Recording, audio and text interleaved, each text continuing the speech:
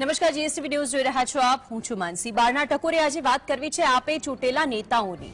લોકસભાની ચૂંટણીની તારીખોનું એલાન હજુ નથી થયું. ત્યાં ગુજરાતમાં પક્ષ પલટાની જાણે મોસમ ચાલી હોય તેવું લાગે છે. વિપક્ષમાં રહીને સરકારના વાંધા વચકા કાઢવાને બદલે સત્તાનો સ્વાદ માણવામાં ખોટું શું આ વિચારીને કોંગ્રેસના નેતા, પૂર્વ ધારાસભ્યો, કાર્યકરો, કેસરીઓ કેસ પહેરવા જાણે પડાપડી કરતા હોય તેવો ઘાટ સર્જાયો છે. ભાજપમાં ભરતી મેળો શરૂ થયું છે ત્યારે હવે વારો કોનો? હજુ કેટલા ખર્શે અને કેટલા ટકશે એ જોવાનું રહેશે.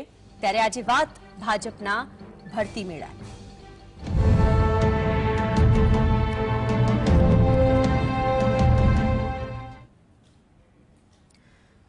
ભારતીય જનતા પાર્ટીનો આ ભરતી મેળો કાલ રોજ જે રીતે જોયું કે છસો કાર્યકર્તાઓ જોડાયા, બીજી તરફ આજે શું વિગતો સામે આવી રહી છે તેના ઉપર નજર કરે આજે આખરે કોણ ભારતીય જનતા પાર્ટીમાં જોડાય છે તેમાં કોનું નામ સામે આવ્યું છે? ગુજરાતમાં પક્ષ પલટાની મોસમ જાણે જામી હોય તેવો જ ઘાટ સર્જાયો છે. મોઢવડિયા સહિત કોણ આખરે ભારતીય જનતા પાર્ટીમાં જોડાશે તે અંગે હજુ પણ સસ્પેન્સ યથાવત છે. નામો ઘણા બધા છે, ચર્ચાઓ ઘણી બધી છે, પરંતુ સત્યતા ત્યારે સામે આવે કે જ્યારે એ ધારાસભ્ય પક્ષ છોડે. અપક્ષના ધારાસભ્ય છે ધર્મેન્દ્રસિંહ વાઘેલા, કે જેઓના નામની અત્યારે ચર્ચાએ જોર પકડ્યું છે. કોંગ્રેસમાંથી હજુ પણ કેટલાક ધારાસભ્યો છે કે જે નારાજ હોવાની ચર્ચાઓ ચાલી છે. ગુજરાતની અંદર જ આ રીતે જે જે અપક્ષમાંથી હોય, કે પછી આમ આદમી પાર્ટીમાંથી હોય, કે પછી કોંગ્રેસમાંથી હોય, અત્યાર સુધી જે રાજીનામા પડ્યા, હવે કોનું રાજીનામું? તેના ઉપર લોકોનું ધ્યાન છે.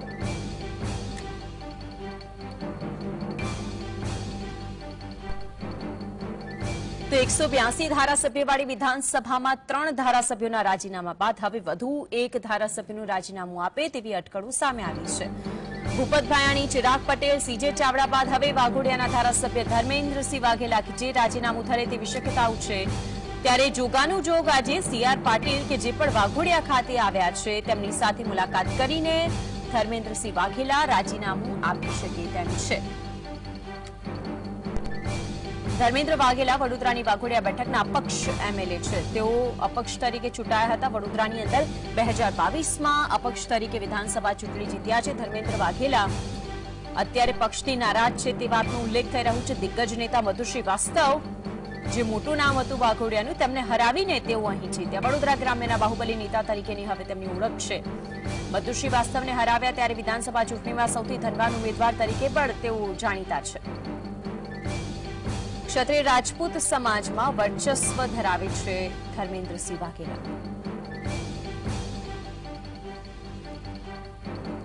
આજે અંગે વધુ માહિતી માટે સંવાદદાતા રૂપેશ આપણી સાથે જોડાયા. રૂપેશ, ધર્મેન્દ્રસિંહ વાઘેલા, એ નામ કે જે સૌથી વધારે ચર્ચામાં છે, રાજીનામું આપી શકે છે તેવી ચર્ચાઓ છે. આપની પાસે કેટલું કન્ફર્મેશન અને કેટલી સત્યતા કે તેવું રાજીનામું આપશે જ?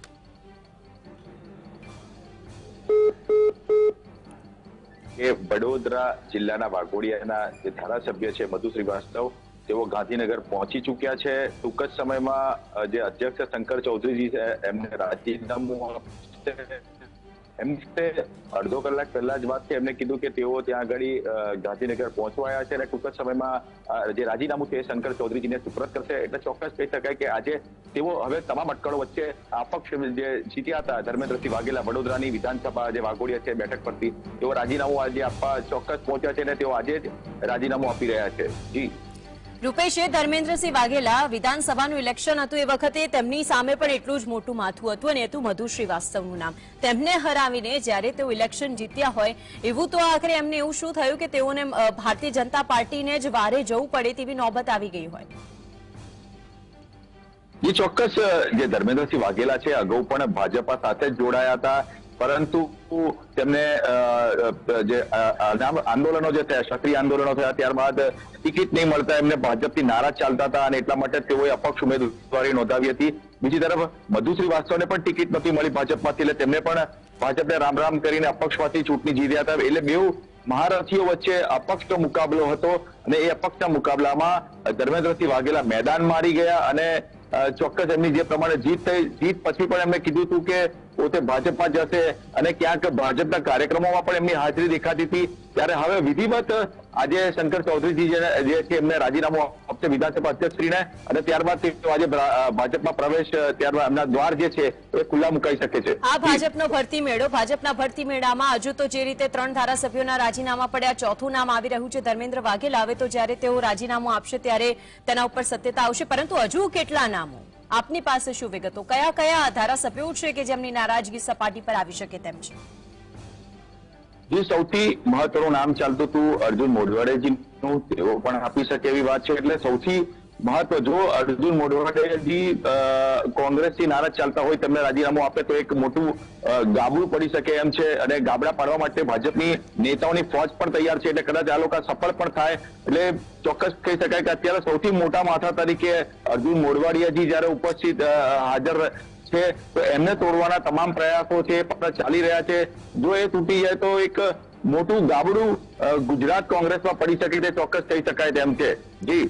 અર્જુન મોઢવાડિયાનું નામ આવે અને જો તેઓ રાજીનામું આપે છે, તો કોંગ્રેસ માટે સૌથી મોટો સેટબેક હોઈ શકે છે.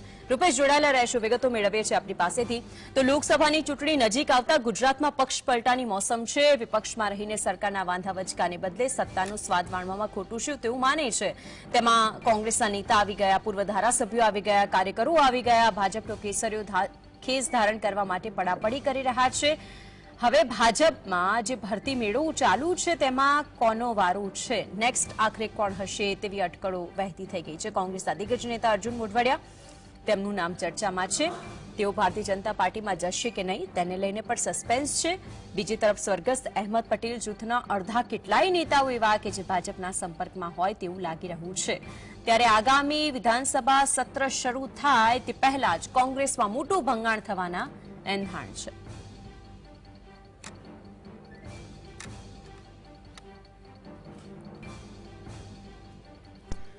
જતીન આપણી સાથે અત્યારે લાઈવ જોડાઈ ગયા છે, સંવાદદાતા. જતીન, સૌથી મોટો પ્રશ્ન એ છે કે જે રીતે હમણાં જ સંવાદદાતા રૂપેશ સાથે વાત કરી તે પણ આપણી સાથે લાઈવ જોડાયેલા છે કે, ધર્મેન્દ્રસિંહ વાઘેલા કે જે ગાંધીનગરમાં જઈને ટૂંક જ સમયની અંદર શંકર ચૌધરીને રાજીનામું આપી શકે છે, આપની પાસે તેને લઈને કેટલું કન્ફર્મેશન વિગતો શું?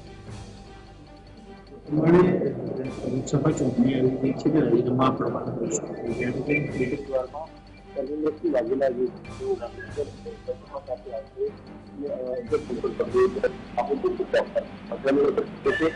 પોતાની જાતની છે તે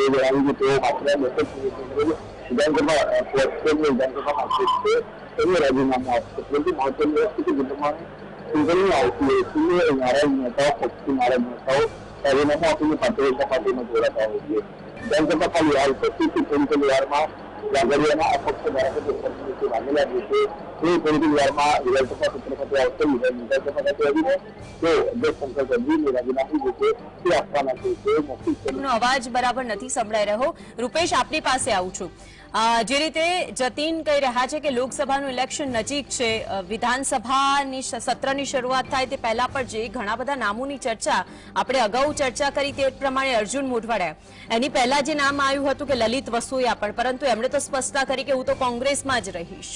હજુ કયા કયા એવા નામો આપને લાગી રહ્યા છે? પડી શકે છે. કારણ કે જે શંકરસિંહ વાઘેલા જૂથના પણ લોકો ભાજપના સંપર્કમાં હોવાની વાત છે. એ લોકોમાં પણ ગાબડું પડી શકે તેમ છે.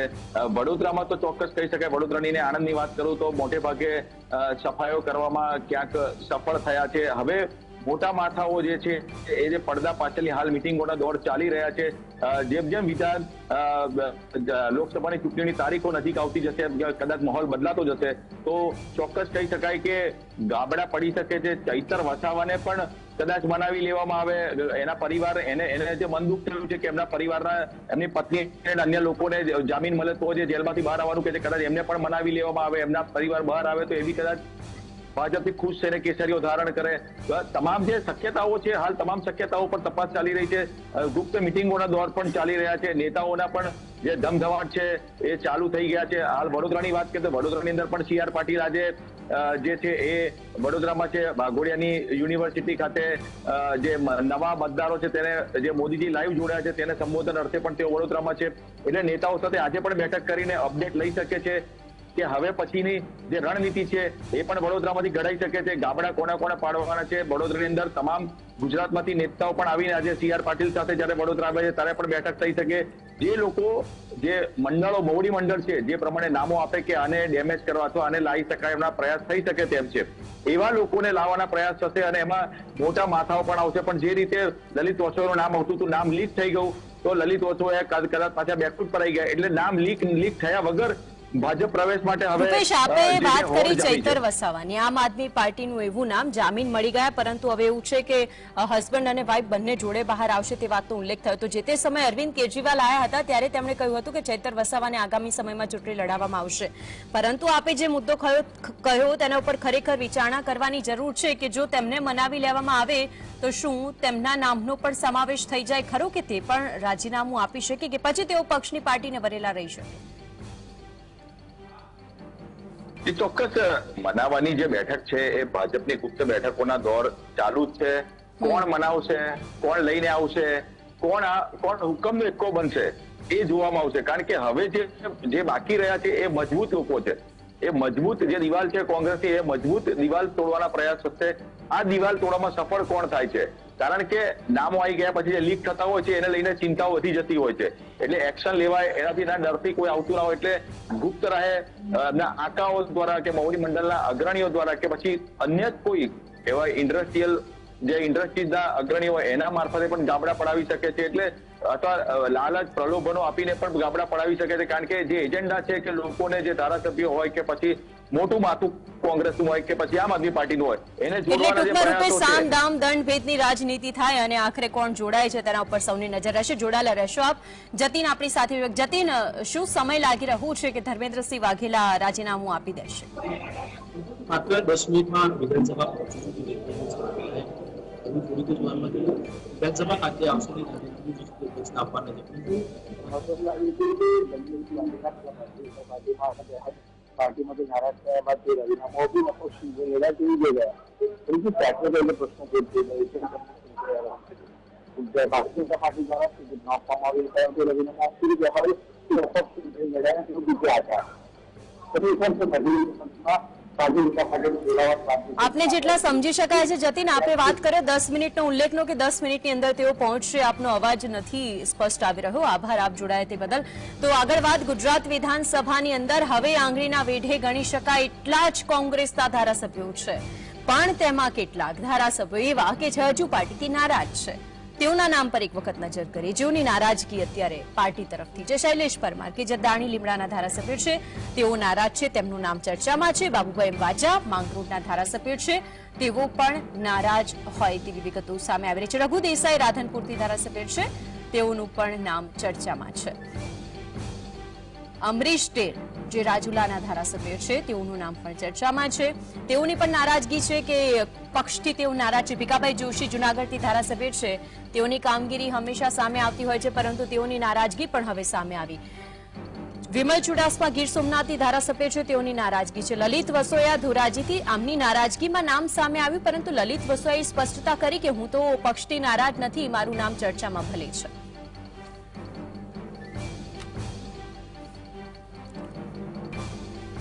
તો આખરે આજે ધારાસભ્યોના નારાજગીની નામ સામે આવ્યા છે, પરંતુ કોંગ્રેસમાંથી જે જે પત્તા ખરી પડ્યા છે, કેમ કોંગ્રેસ તૂટી છે તેની વાત કરી લઈએ. પૂર્વ ધારાસભ્ય કોંગ્રેસની નેતાગીરીથી નારાજ છે. શા માટે કોંગ્રેસ તૂટે છે? તો એનું આ સૌથી મોટું અને મુખ્ય કારણ છે.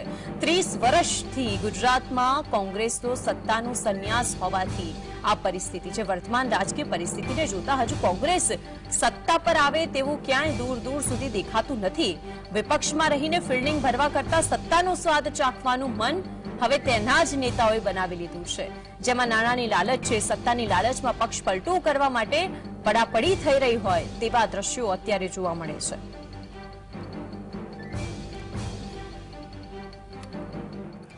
આગામી લોકસભા ચૂંટણી પૂર્વે એક તરફ પક્ષ પલટાની મોસમ, બીજી તરફ અફવાઓનો બજાર પણ. બંને વચ્ચે રાજકોટ જિલ્લા કોંગ્રેસ પ્રમુખ અને પૂર્વ ધારાસભ્ય લલિત વસોયા કે જેમના વિશે મીડિયામાં ચાલી રહેલી અફવાનું ખંડન કરતા તેમણે કહ્યું કે હું તો કોંગ્રેસ છોડીને ક્યાંય જવાનું જ નથી. તેમાં પણ તેમણે ઉમેર્યું કે કોંગ્રેસે મને ઘણું આપ્યું છે, હું કોંગ્રેસ તો ઋણી છું. અત્યારે કોંગ્રેસ તો નબળું સમય ચાલી રહ્યું છે, ત્યારે તેમનું ઋણ ચૂકવવાનો સમય છે. આ નબળા સમયમાં હું કોંગ્રેસની સાથે છું અને કોંગ્રેસ છોડી ભાજપમાં જોડાવાનું નથી. આપ સૌને ખાતરી આપું છું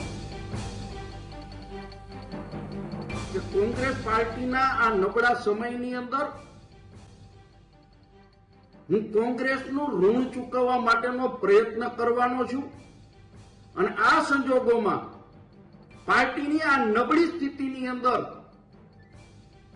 જો હું પાર્ટી છોડીને જાઉં, તો હું એવું માનું છું કે મારી જનેતાનું ધાવણ લાજે.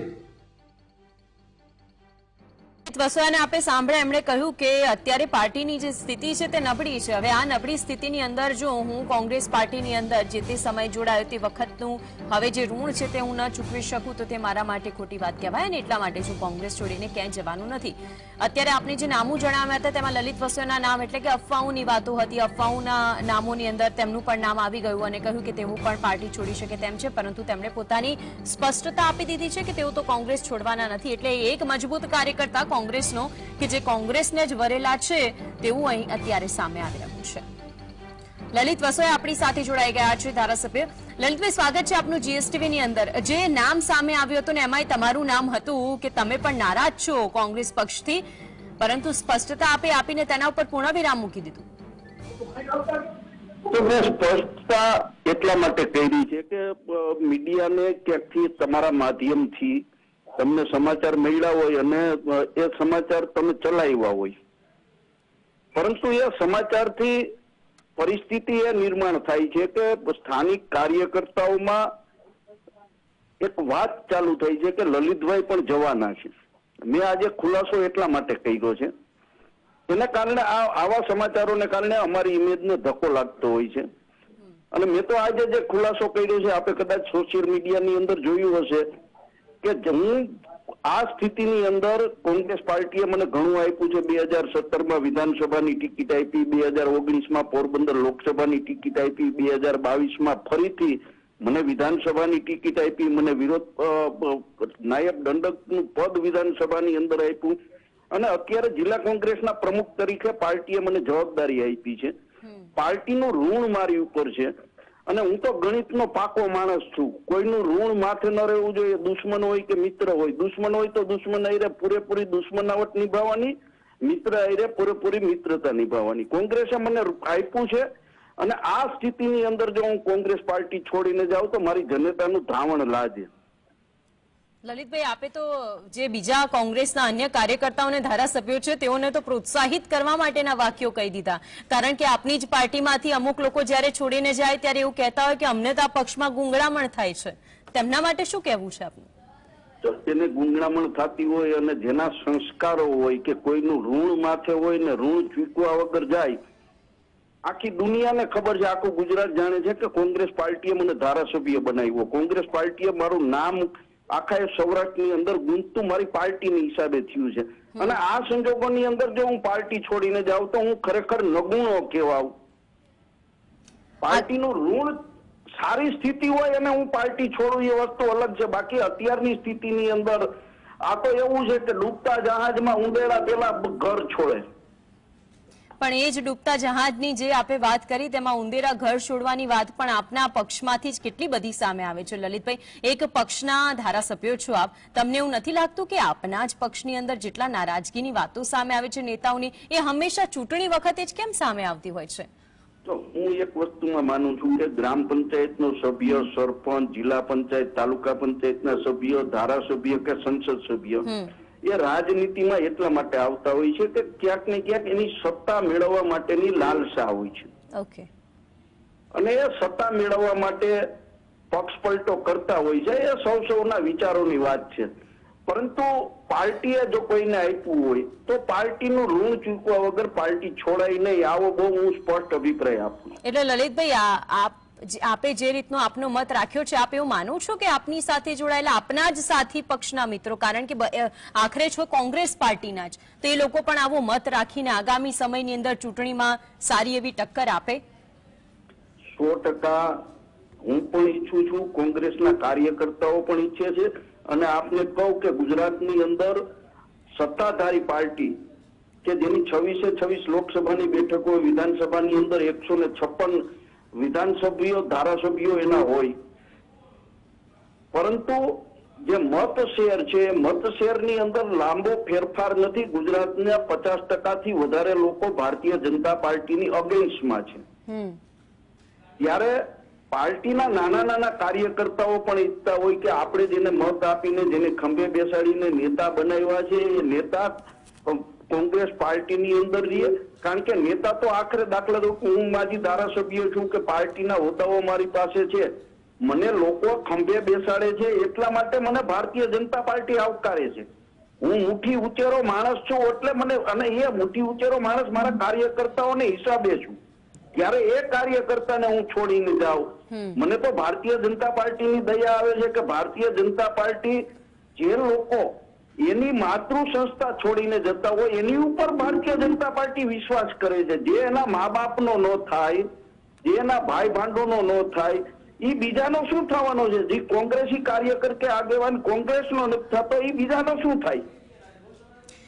શું આપ જીએસટીના મંચ પર એ સ્પષ્ટતા આપશો કે જે અફવાઓ ચાલી તેના ઉપર આપે પૂર્ણવિરામ મૂક્યો? એટલે આગામી સમયની અંદર જે લલિત વસવા પાર્ટીથી નારાજ છે, રાજીનામાની વાતો થતી હતી, તે હવે થશે જ નહીં. કારણ કે તમે તો પક્ષને ભરેલા છો. મેં કહ્યું ને કે હું આ સ્થિતિની અંદર મારી કોંગ્રેસ પાર્ટી છોડું તો મારી જનતાનું ધાવણ લાજે. આનાથી વધુ તો હું શું કહી શકું? બિલકુલ બિલકુલ. લલિતભાઈ, આપ જીએસટીવી સાથે જોડાયા બદલ આપનો આભાર. તો તેમણે સ્પષ્ટતા કરી દીધી છે કે તેઓ તો કોંગ્રેસના ઋણી છે. આ નબળા સમયની અંદર તો તેઓ કોંગ્રેસની સાથે જ રહેશે. કોંગ્રેસ છોડીને તેઓ ક્યાંય જવાના નથી. આ વાતનો ઉલ્લેખ લલિત વસોએ કર્યો છે.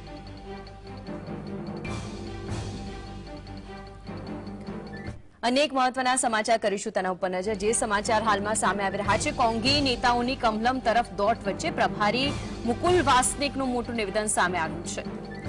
મુકુલ વાસનિકે તેમણે કહ્યું છે કે નારાજ નેતાઓ સાથે વાતચીત કરીને રસ્તો કાઢવામાં આવશે. જે જે નારાજગીના નામો સામે આવ્યા હતા કે પક્ષથી નારાજ છે, તેમણે કહ્યું કે ભાજપ દ્વારા ધારાસભ્યો પર દબાણ કરવામાં આવી રહ્યું છે. મુકુલ વાસનિકે કહ્યું છે કે જે નારાજગી છે, જેઓની તેઓને સમજાવવાનો પ્રયત્ન કરાશે કોંગી નેતાઓની કમલમ સુધીની દોટ વચ્ચે પ્રભારી મુકુલ વાસનિકનું આ સૌથી મોટું નિવેદન કે જેટલા પણ નારાજ છે, તેઓની સાથે વાતચીત કરીને રસ્તો કાઢીશું.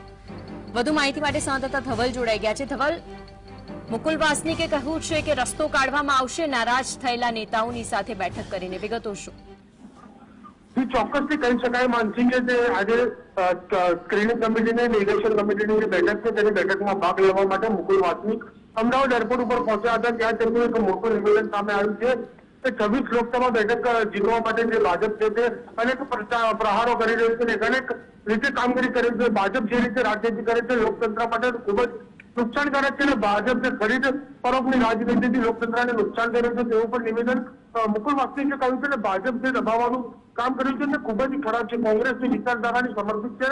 અમે લડતા રહીશું એવું પણ મુકુલ વાસનિકે કહ્યું છે અને જો એમાં કહેવામાં આવ્યું છે કે જે નારાજ નેતાઓ છે તે નારાજ તમામે તમામ નેતા સાથે વાતચીત કરીશું અને રસ્તો કાઢવામાં આવશે. અને આગામી દિવસોમાં તે નેતાઓને કઈ અગવડતા હતી તેને લઈને પણ વાત કરવામાં આવશે.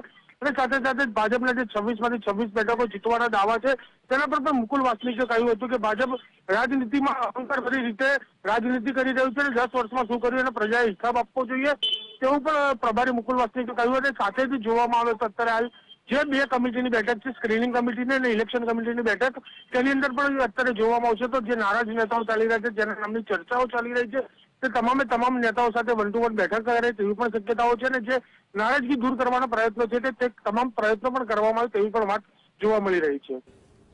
આભાર ધવલ, આપનું માહિતી આપવા માટે. તો સંવાદદાતાએ વિગતો જણાવી તે પ્રમાણે મુકુલ વાસનિકે કહ્યું છે કે કોંગી નેતાઓ છે જેઓની કમલમ તરફની દોટ છે. તેઓને મનાવવાનો પ્રયત્ન હાથ ધરવામાં આવશે. નારાજ નેતાઓ સાથે વન ટુ વન બેઠક કરવામાં આવશે. મહત્વની વાત એ છે કે આ થોડા સમય પહેલા એટલે કે લગભગ વીસ દિવસ પહેલા જ પાટણના કોંગ્રેસના ધારાસભ્ય કિરીટ પટેલ, કે જેઓ પણ નારાજ હતા, તેમણે પણ અહીંથી સ્પષ્ટતા આપી હતી, પરંતુ તે પછી તેમની સાથે પણ વાતચીત કરવાનો પ્રયત્ન કર્યો અને તેમને પણ મનાવી લેવામાં આવ્યા. તો આખરે હવે કોંગ્રેસમાંથી કેટલા ખર્ચે તેના ઉપર સૌની નજર છે, પરંતુ આ બધાની વચ્ચે આપ જેને મત આપો છો, જેને ચૂંટો છો, તેઓ કેટલા આપની સાથે વરેલા છે, તેઓ પોતાના પક્ષની સાથે કેટલા વરેલા છે તે જોવાનું હંમેશા રહેશે. આખરે હવે આગામી સમયની અંદર ભારતીય જનતા પાર્ટીમાં કયા કયા મોટા માથાઓ જોડાય છે તેના પર સૌની નજર બની રહેશે. આ સાથે ન્યૂઝ બુલેટિનમાં હાલ બસ આટલું જ. નમસ્કાર.